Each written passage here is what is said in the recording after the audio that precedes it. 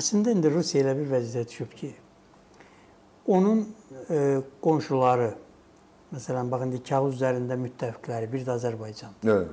Bunlar hamısı başa düşür ki, Rusiya bu bataqlıqdan e, ya çıxmayacaq, ya da ki, çox sınıq-salxaq şəkildə çıxacaq. Hı. Və elə şəkildə çıxacaqdır ki, məsələn, ən kiçik dövlət belə ondan daha beynəlxalq nüfuza sahib olacaqdır. Hı. Ona görə e, bu bataqlığa heç kəs girmək istəmir onunla bərabər. Hər kəs çalışır ki, nə qədər ki bu hələ gücü tam tükənməyib, özünü qorusun. Hı. Mən qədər yəni necə edim ki, bu bəla məndən uzaq dursun. Hədə ortana cırmaq bizə dəyməsinlər. Yəni doğrudan da bu kimlərisə bura bulaşdırsa, onu da özü ilə bərabər aparacaqdır. Və biz e, hələ bu müharibə başlamamışdan öncə e, və ondan sonra mən 3 3 proqnoz vermişdim və bunu bütün efirlərdə səsləndirmişdim. Birincisi bu idi ki, Rusiya-Ukrayna müharibəsi mütləq başlayacaq. Hı -hı. Çünki hələ başlamamışdı. Yəni mən təhlillərim mən deyirdim ki, bu başqa variant yoxdur. Proses ona doğru gedir. Biz burada həm fikir olmuşuq, demək ki, bu bir. İkincisi bu idi ki, bu uzun çəkəcək.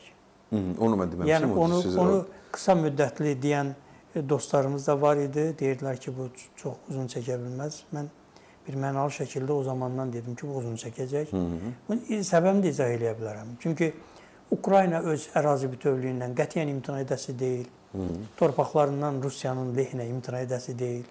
Rusiya isə Ukrayna ərazilərini işğal edib Rusiyanı diz üstə qoymağa qadir deyil. Gücü çatmır. Yəni Pat. Qərb buna bu imkanı verməyəcəkdi ki, Hı -hı.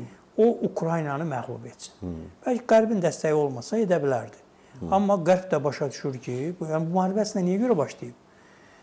Ona görə başlayıbdı ki, Rusiyanı bu imperialist iddialarından povlasınlar, geri çəkilsinlər. Bunun qabağında kimsə durmalı idi. Bu bir bunu bir yerdə dur, durdurmaq lazım idi. Əgər Ukraynada durdurulmasaydı, bu əslində Qazaxstana da girmişdi yanvar ayında. Bəli, bəli, bəli. Oradan e, Çinin təzyiqi ilə çıxdı. Bir həftədən sonra, 10 gündən sonra çıxdı, ordusunu çıxartdı. Əslində onun niyyəti var idi. Çünki açıq bəyan eləmişdi Qazaxıstanın bütün şimal torpaqlarının. Qazaxıstan da girmişdi, Azərbaycan da girmişdi. Yəni açıq danışaq. Bəli, Azərbaycana da girmişdi onlardan öncə. Azərbaycan öz dəvət etməmişdi. İndi bunu 100 Təbii adam gecə ilə gəlmişdi onun. Gecə ilə ordu gəlmişdi və biz məcburən onu bir sülhməramlı donuna geyindirdik. Bəli, bəli, təbii, təbii. Türkiyənin vasitəsilə neytrallaşdırdıq. Və bu Ukraynada düşünürdü ki, girəcəm, Kiyevi tutacam, Zelenski qısa müddətdə hakimiyyətdən gedəcək. Bunun planları pozuldu. E sonra Qazaxstan Azərbaycan həllə. Açığı yəni mən indi birdən açıb baxıram.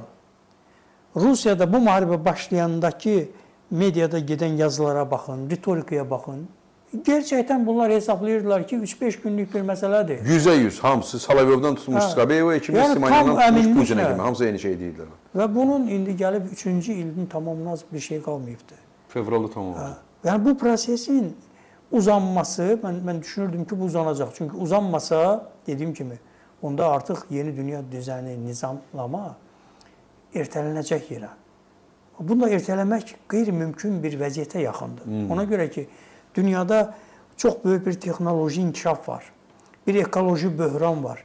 Kiber mühitlə bağlı yeni bir münasibətlər sistemi yaranır.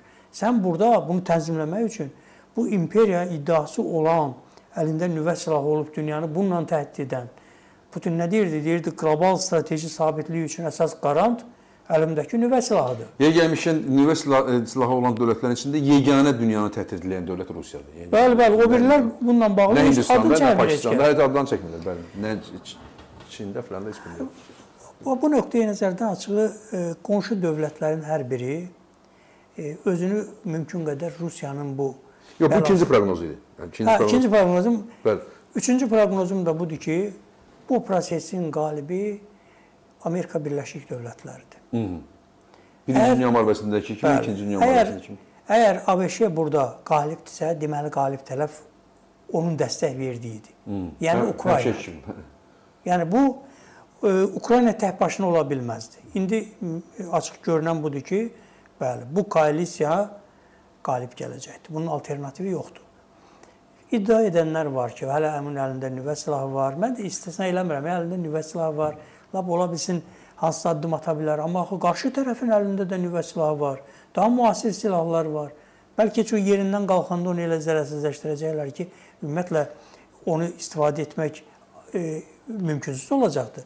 İndi bunu demək çətindir. Çünki doğrudan da hərb sənayesində də, elm sahəsində də texnologiya böyük bir sürətlə inkişaf edibdir və bu inkişaf ABŞ-nin əlindədir.